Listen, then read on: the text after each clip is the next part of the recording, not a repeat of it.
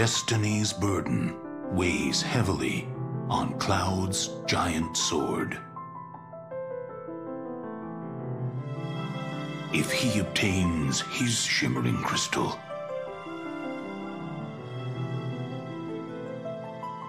will he be able to cast a light on the shadows hiding within?